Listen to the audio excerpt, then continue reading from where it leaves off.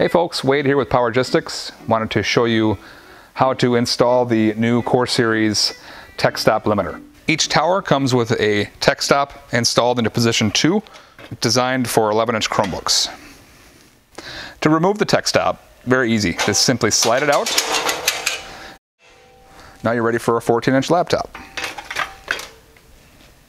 To install the Tech Stop, simply find the position and line it up with each shelf.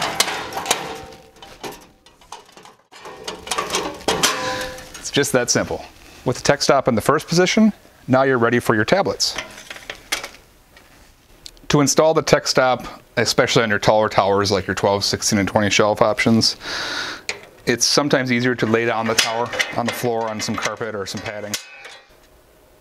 In your tower install kit, we do supply some hardware that allows you the option to secure your tech stop limiter.